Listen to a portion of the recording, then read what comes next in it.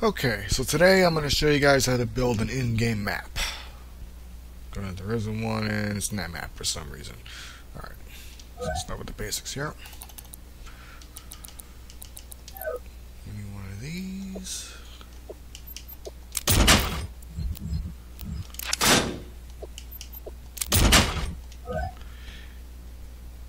And we're going to need one of these.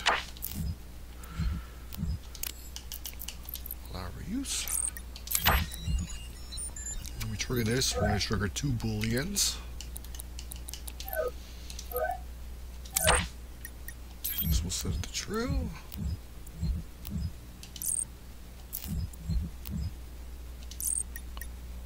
And this will set it to false.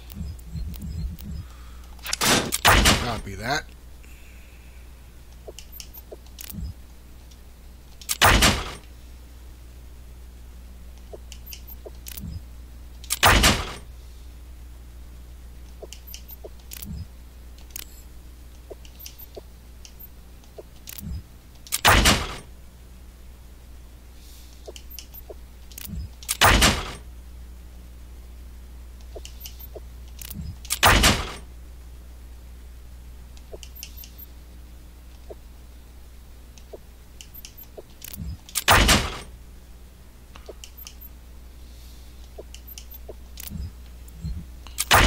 So now that, that, that is in every single uh, module.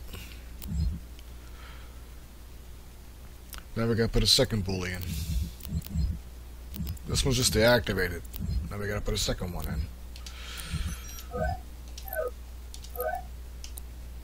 Add new. So that's gonna be boolean one, and then we're gonna cancel it with that. Let's change this to um, user input one. This is the X button, so that way. This activates with the Y button, so that way we don't activate it twice.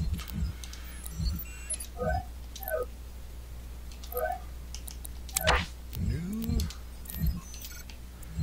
Cancel it with that. So we put one.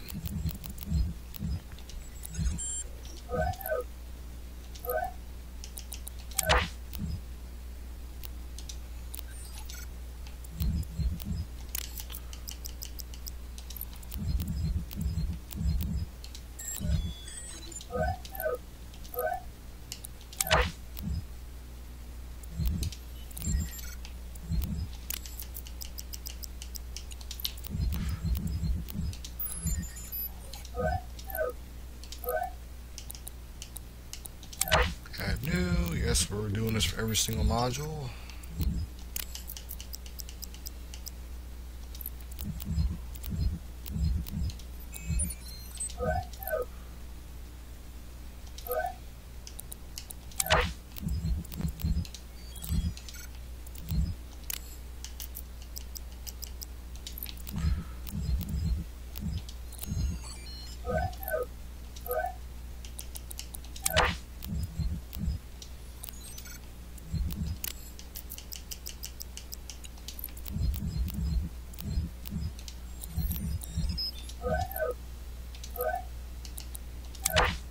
There we go. That's number eight.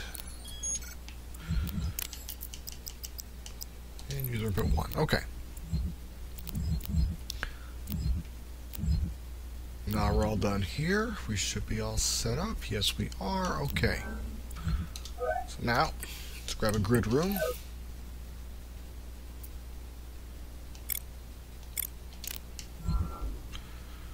And let's build our map.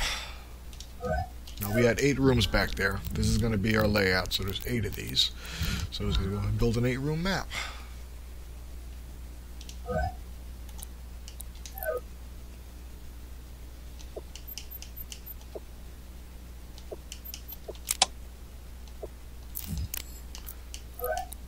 that a solid color, and it's the height of it too. It's about the same, basically. There we go. Change the color to black.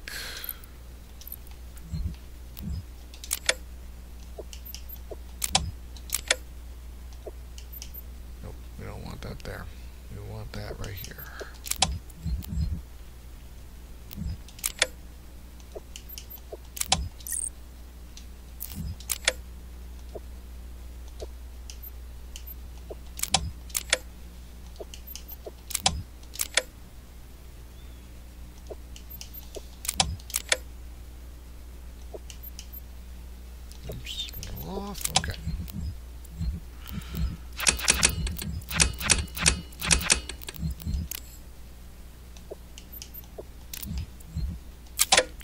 Good enough.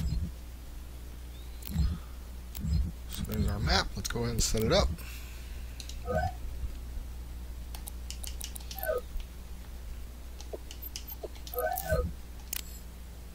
dang it.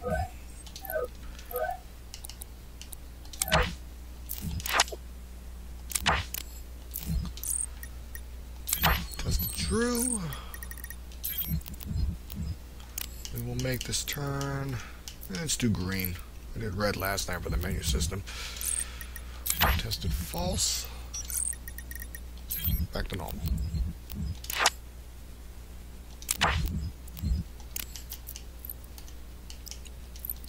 Make sure it's black. And on changed, it will test itself.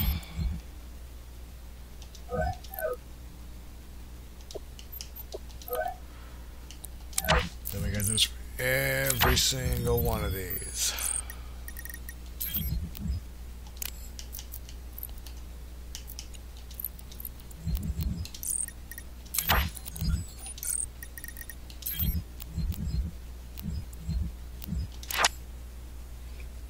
There we go.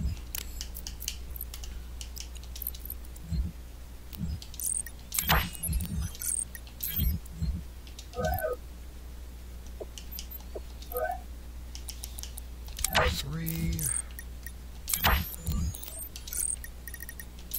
True, change the color.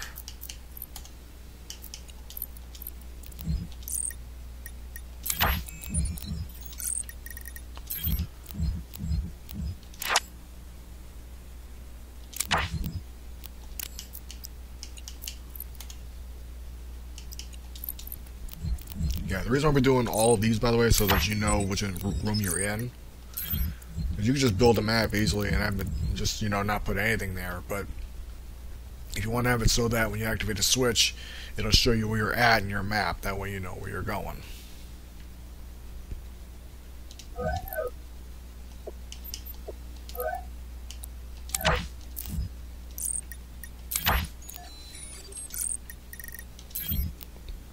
True, yes it is.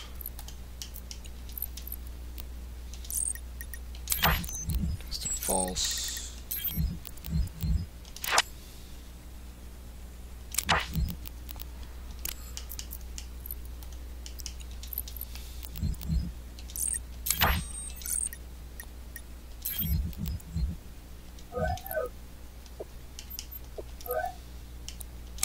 Five. I think these are numbered, otherwise I'd get lost pretty easily.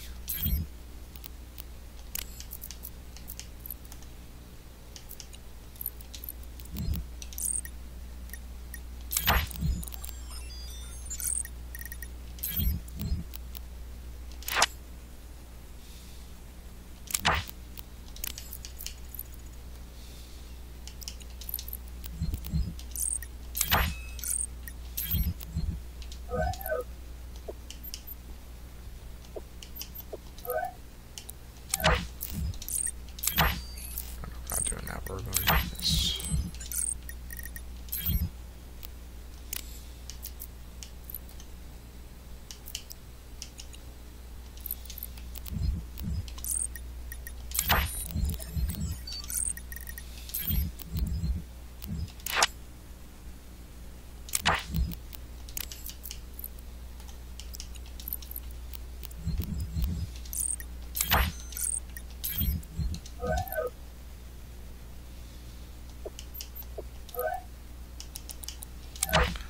Seven, almost there. We are almost there. We just got to do every single one of these so that we know where we're at.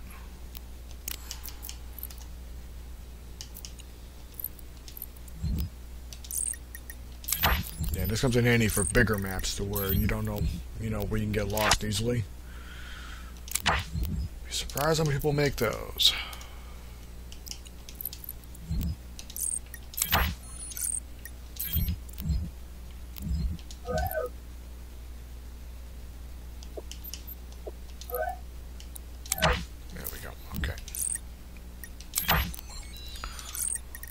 one. Let's get this one set up.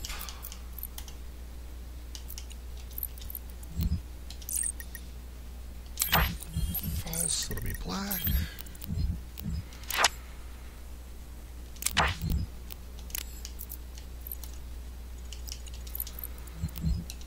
It'll test itself. Okay. Now let's get a camera in here.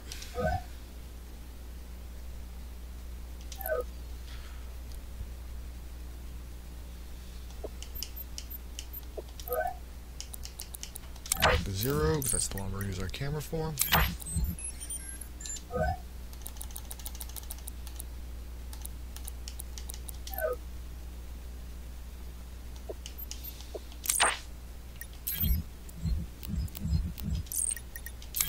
False. Shut the camera off, and we'll make it test itself. Okay, put this over here.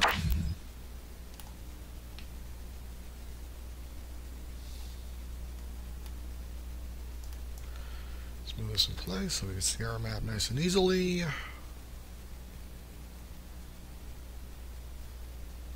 Yeah, looks good enough. Okay.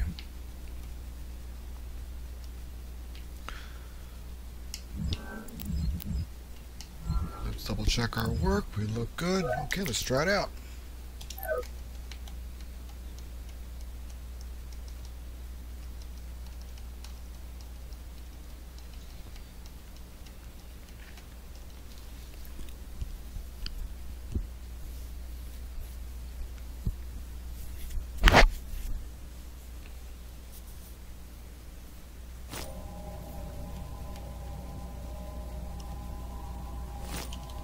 Okay, so we walk up to this thing. That's where we're at. Go up to this one. That's where we're at.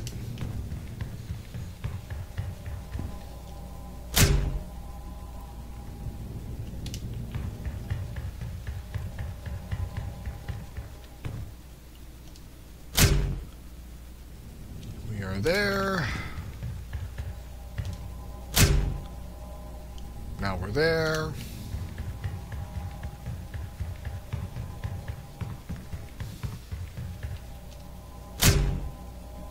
Now we're there.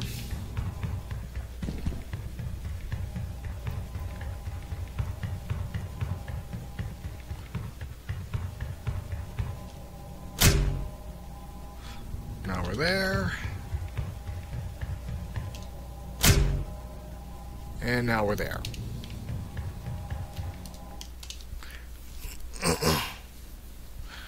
Alright, now I'm going to explain a couple things here real quick before I quit the video.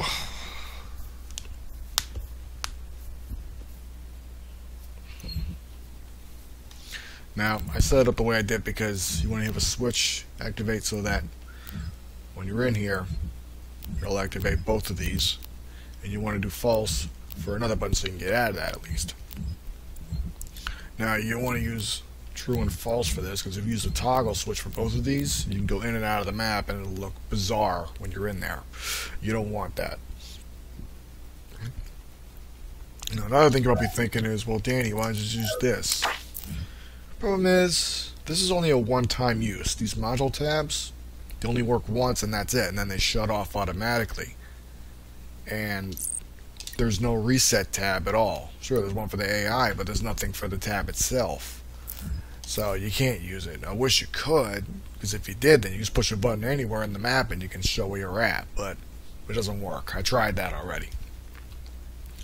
And these are good, so let's say like um like there's certain points on the map. You don't have to do every single room if you don't want to. You know, I'm just doing every single room so just do that it works.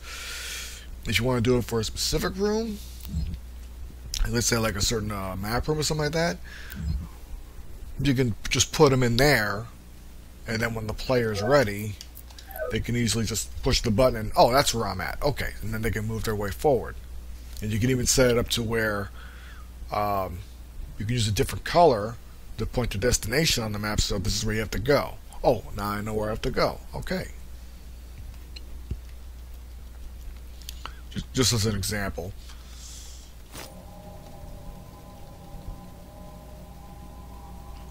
Like, let's say like uh, like this room here is gonna be the uh, special map room. Let's just say this one's it. Okay, you push the button. So look at the map. Oh, that's where I'm at. Okay, got it. No problem. But let's say like another example. Um,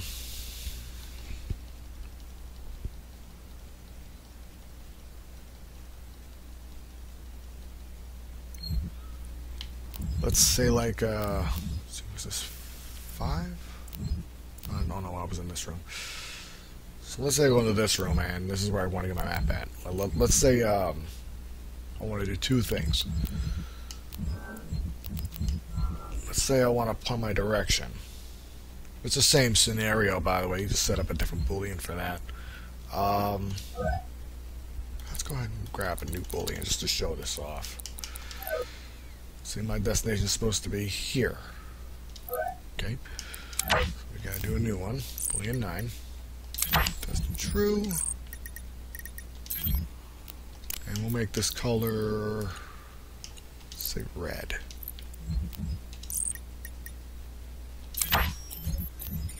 Test it false, let it go back to black.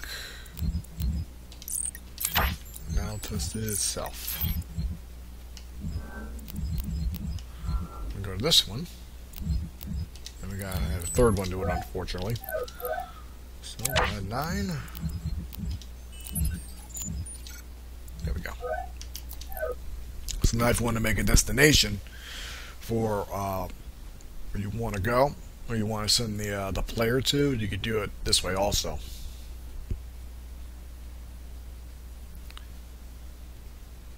And by the way, it's a lot easier to set it up this way. If you do it any other way, you're going to have to build like five, six maps in order to get it to run properly. So just build one map, set up the spots you want to have it activated, and then you're good to go. So now if I activate this again, that's where I'm at. That's where I need to go. Activate it again. Take a look at it. Of course, this one only activates that.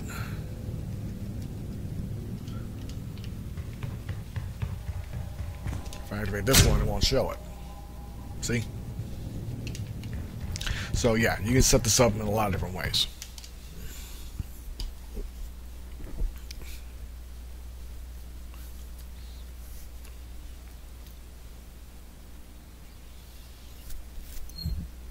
Okay, and with that being said, hope you all found this helpful, and you all take care.